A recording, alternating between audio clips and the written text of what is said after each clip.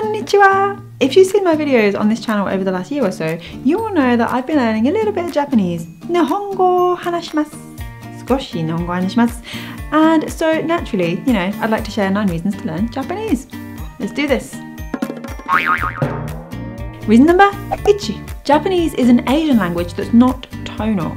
So if you're ready to move away from Romance, Germanic and Slavic languages, etc., and kind of head east, but you're put off by this big scary thing they call tones, well, first of all, don't worry about tones. But secondly, if you are worried about tones, Japanese is a good one to go for. Japanese does have something called pitch accent, which is worth mentioning, but I've never had any problems with this, so I'm sure you'll be fine too. Reason number three. Japanese has three alphabets. Three alphabets, anyone? How insane does that sound?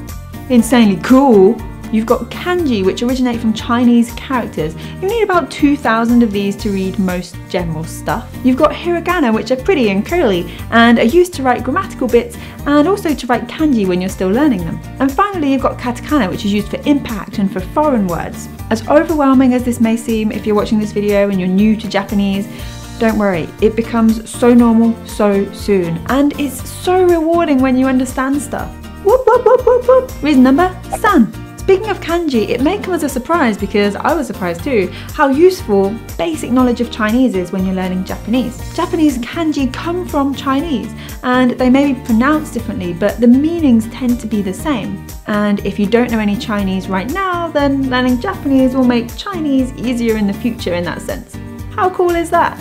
Reason number two. You are never going to run short of interesting pop culture when it comes to Japanese. Have you heard of AKB48? It's an insane girl band with over a hundred members in its lifespan and they perform pretty much every night live in Tokyo by rotating their members.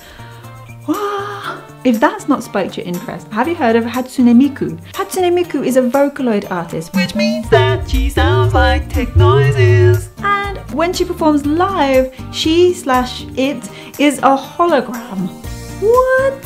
If music isn't your thing, what about film or TV? There's the obvious ones Pokemon and Studio Ghibli, Ponyo Love Sosuke! And then there's the reading, manga for one. Hey, if you're already in love with this stuff, I don't need to tell you how cool it is. Reason number go the seemingly endless supply of simple sentences. I'm going to teach you some Japanese right now. Watashi wa Lindsay desu. Watashi wa I, Lindsay, my name, des, the copula, this for, to be, it means I am, basically. I am Lindsay.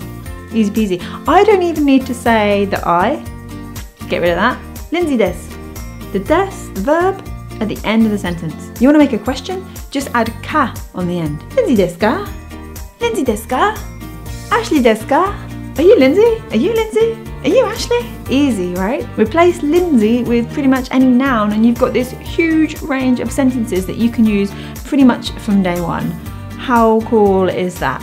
Reason number, roku. Japan is amazing. Reason number, nana, gairaigo. In other words, loan words. You might have studied Spanish and gone with the add an O to the end of the English word if you don't know, and you might be right. Or in French, and you just say an English word with a French accent and hope for the best. Well, with Japanese, you can pretty much do that. There's been times when I've been surprised by just how many loan words there are in Japanese directly from English, and some are really fun too.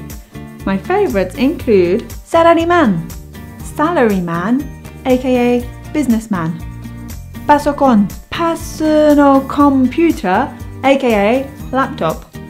Reason number hachi, particles. Particles may be confusing at first, but they make for a much simpler process once you get to grips with them. Remember our sentence from earlier? Watashi wa Lindsay desu? Well, wa is a particle, the subject particle to be precise, and you're going to use this after the subject in the sentence. Remember ka for that question? Lindsay desu ka?